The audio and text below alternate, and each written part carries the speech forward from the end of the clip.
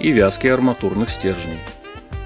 Стеклопластиковая арматура связывается пластиковыми хомутами, специальными пластиковыми клипсами, либо стандартным способом при помощи проволоки и крючка. Таким же способом композитную арматуру можно вязать с обычной стальной арматурой –